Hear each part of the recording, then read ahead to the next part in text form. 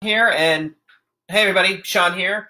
Today i'm going to be showing you guys how to make egg muffins and we're going to talk about how to do it in an instapot quick cooker pressure cooker whatever the heck you want to call it. This is a pampered chef version because we got a great deal on it and it works fantastic and they have a great um, they always take care of their products. So that's what we went with them. You could get whatever quick instapot thing you want. It doesn't matter. Works the same in all of them uh, we're also going to talk about how to do this in the oven if you don't have one of these, and if you don't have one of these, you should get one of these. It's that simple. All right, so let's talk about the egg muffin. So this today we're going to show you how to kind of make a Denver omelet egg muffin. And what I've got is some butter heating up on here on the stove, and I'm just going to throw in the onion. So I'm going to just get the onion into the pot, and I'm going to make sure that this starts to uh, caramelize. Uh, we love caramelized onions. They just taste way better than regular onions. So we will take the time to cook them down every time. So this is what we're going to do. We're going to get this on the heat and just let this start cooking down. Takes a little while. Probably takes about 10 minutes for this to get really caramelized down to the point where we want it. So while we're doing that, because I believe in using your time wisely while you're in the kitchen, I'm going to start working on the eggs that go into this. So right now I've got three eggs that are cracked in here. I already cracked them for you just because you didn't need to watch that adventure um, live and I'm going to add egg white. And egg white works. Doesn't matter what kind of egg white you want to use. I'm using um, whatever we found. it works. Uh, I'm going to just pour it in because I know how much it is, but you just measure it out. The ratio for this is one egg and one egg white per muffin that you're making. So uh, the recipe that we posted is for six muffins. Right now, I'm making enough for three because that's what we're in the process of making, and I'll explain that to you as we go along. So you're going to get the egg, the egg white in, and then you need to season it because this is the place that you have the best opportunity to really make your eggs taste delicious. Uh, and so it's all about putting in the seasoning, what kind of seasoning you want. So we always start. Um, we like the 21 seasoning salute blend from Trader Joe's. It's a no salts seasoning that's got lots of great flavor into it, so we love that. Um, we pretty much don't cook anything that doesn't have garlic in it, so we're going to put a little garlic powder in there too because why not? We buy it in bulk over at you know the Costco Landia. Um, you always want to put a little bit of pepper and salt in as well. So I'm to put a little black pepper in my eggs. And then we, of course, have our salt as well. So you want to get all of that in. I'm just give the onions a quick stir here as they start to cook through, which is great. And then we're going to go with our salt. We have our cute little salt spoon. You could do pinches, whatever it is. But I always like to season heavily because it's going to make the eggs taste better. So we've got eggs, we've got egg whites, seasoning of your choice. And this is the thing. This is the nice thing about this recipe is you kind of get to just make it however you want to make it. Uh, for today's filling, as I'm beating eggs, for today's filling, we're going to be doing the onions. We're going to be doing some peppers, bell peppers, and then some pancetta, uh, which is you know awesome kind of ham, yummy deliciousness that we love, uh, that we get from Trader Joe's as well. So you can do pancetta. The other thing that we'll often do is a mushroom uh, with goat cheese. So this is kind of Denver omelet esque. So it's going to have the onions, the bell peppers, and the pancetta, and then we're going to throw in a little bit of shredded cheddar cheese. For the other one, we're going to usually chop up mushroom really finely and cook it thoroughly when we're cooking it on the stove with the onions. And then uh, we put in goat cheese instead, and we just buy crumbled goat cheese uh, from Trader Joe's and throw that in instead of cheddar. However you want. The other nice thing about this is if you're cooking for more than one person, uh, we happen to like the same thing, so we make them all taste the same. Uh, but if you happen to have folks like, I don't want cheddar, I want American or whatever, you can actually make each egg muffin unique. Um, the filling you could even make unique too by adding it into each cup or each thing as you want. So you can get really um, creative in this. You could actually have if you if you're cooking with kids, they can decide what they want in each of their own cups and make it all an adventure, and people get to have what they want to have. Uh, we personally like the same thing, so it doesn't matter to us. I'm also going to put in some green onion. I'm going to throw that in with the egg mixture. It doesn't really need to cook down. It'll cook down enough in the um, in the cooking process of the egg. So I'm just making sure those get mixed in as well. So I've gotten some eggs, egg whites, all of the seasoning, and the green onion beat up here. I'm still browning up my onions, which they're getting pretty close right now, which is great. So while those are finishing up, I'm going to also talk about doing this in an oven. So we're going to do it in the Instant Pot. We're going to talk about the timing and how to do that. You can also do it in the oven in just a basic cupcake pan. This is ours. It's silicone. Makes it really easy to um, pop out. These are large size, so like actual large size cupcakes, not the little mini cupcakes, the real big size. Um, whatever you're to do, always spray it. We just use some really basic coconut oil spray from Trader Joe's. Doesn't matter. You just want to make sure you put something in it. You can melt butter and put that in. You just want to give it some kind of, you know, lubricant in there to make it so when they pop out, they pop out easier. So you're going to put them in the cake, uh, in the muffin pans, just like I'm going to show you in the ramekins and then you're going to stick that in the oven. And that goes into the oven at about 350 degrees for about 20 minutes. And everybody's oven is different. We have a convection oven. Some people don't. Some people have gas. So I usually do at about 10 minutes, I'll go in and rotate them in the oven, turn them halfway. And then 10 minutes later, I'll check them again. And the way I check them is through what I call the toothpick test. You poke a toothpick in. If it comes out clean, it means the egg's cooked all the way through. And I'll show you guys that as we move along. So we have caramelized onions. They are ready. So now I'm going to add in the bell peppers. And these don't have to go in for very long. You're just letting these kind of just soften up, soften up a little bit. Nothing, not a lot of time, probably even less than a minute. I'm just going to give it a little sizzle time on the stove. Maybe turn my heat down a little bit. Let them soften up just a tad. Doesn't really need much and then you're going to add in the pancetta. So if you don't eat meat, if you don't want to eat meat, you don't need to. This could be a completely vegetarian egg muffin. It doesn't matter. We just love the the rich, salty flavor of the pancetta, so that's why we use it. You could use bacon. You could use cubed ham. Uh, there's a lot of things that you could do in here. It doesn't really matter. Like I said, make them how you like it. If if you prefer whatever meat it is, great, or no meat you get to choose what goes in here. You get to have fun with the seasoning and the flavoring and all of that kind of stuff. This is the perk of this recipe.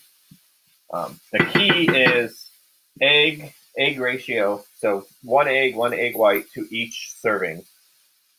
And then you're going to just go from there to make sure that you've got it all filled out. And then I'm going to be using these glass ramekins. This is they're kind of designed to do this inside of the Instant Pot. Um, yeah, so they also came from Pampered Chef. We also use them. Um, so if you can't tell, we like a lot of Pampered Chef stuff. Um, we're not distributors or anything like that. We just happen to like to cook with it. It makes our lives easier. We like to use it a lot. Um, if you're looking for some of it, just reach out to Danielle and I. We can kind of put you in touch with the person we buy our stuff from, who's great and super supportive. But um, so you're just cooking it out, making sure that some of the fat renders out of the pancetta, the peppers have rendered down, the onions are already nice and caramelized, so everything's getting nice and mixed in here. It's looking good. I'm going to actually turn the heat off just to make life easier. And I'm going to show you kind of how to assemble this, get it ready into your Instant Pot, your Pampered Chef pressure cooker, your Food Network star of your choice pressure cooker. It doesn't matter. Like I said, it's a pressure cooker. So make sure this is all nice and rendered out, and it looks like it is. All right. Here's what we do. We're going to line up our little ramekins here.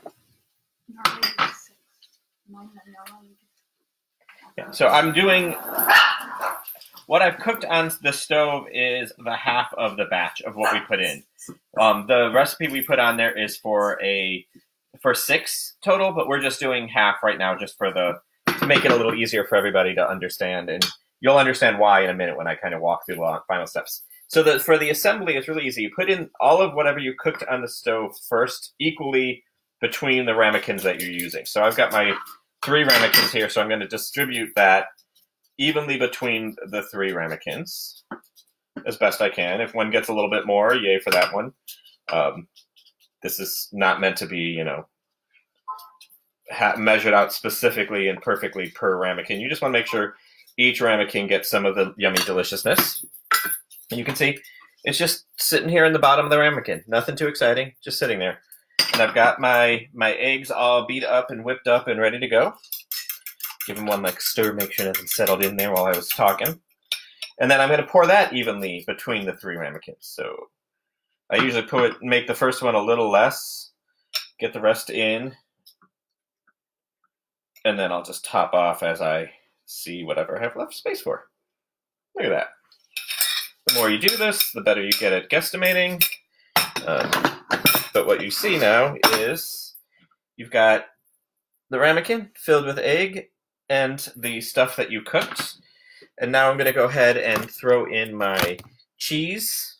This is just grated cheddar because it goes well with the Denver omelet, like I said.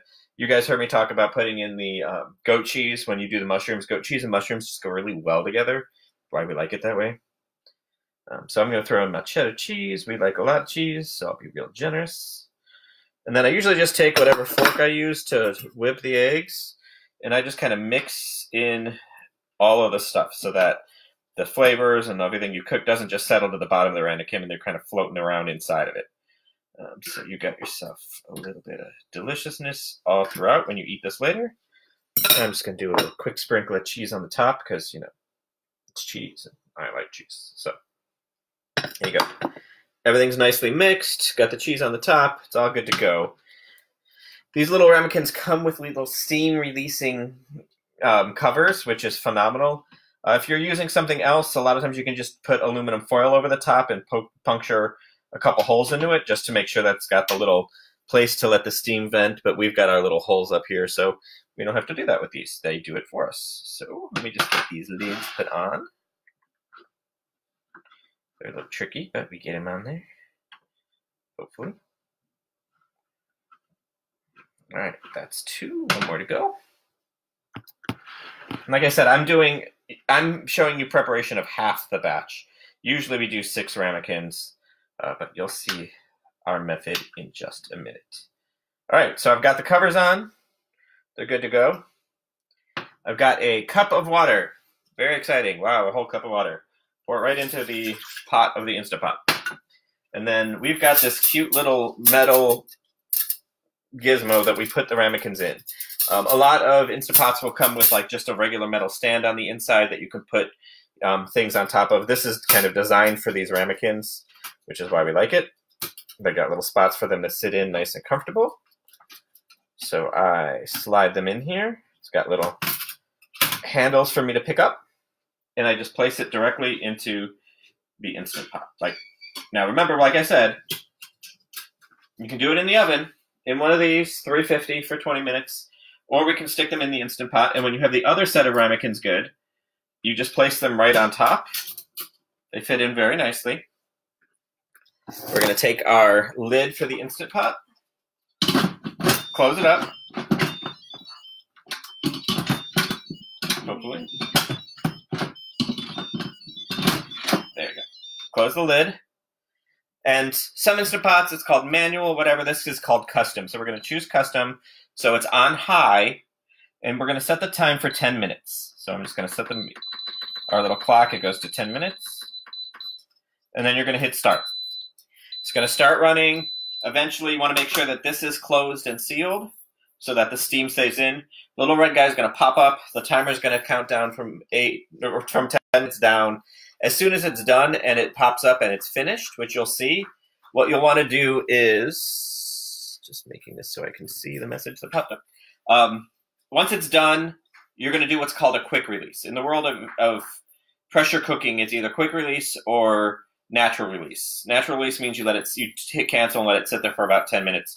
Quick release means as soon as it's all cooked and ready to go and the thing has gone off, you hit cancel, you push this button to release whatever steam is there. Imagine steam flying out. Yay. You want to do this away from counters and you want to do that also away from your face so the steam goes away from you.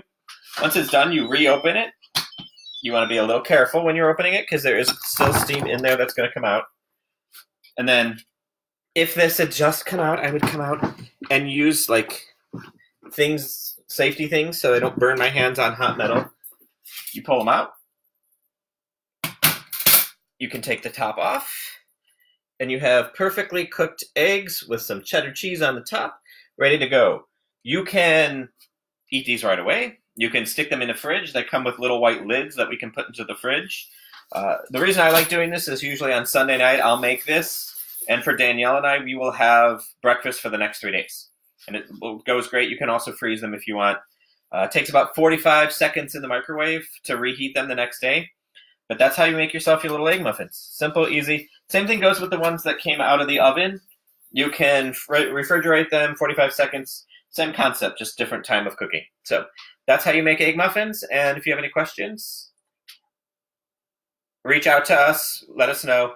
And also, Danielle's going to be going live at 3 o'clock today. She's going to be using um, our our Instant Pot here to show you guys how to make ratatouille, which is our absolute favorite uh, side vegetable dish that we make. And she's going to walk you through that. So at 3 o'clock today, Danielle's going to be up.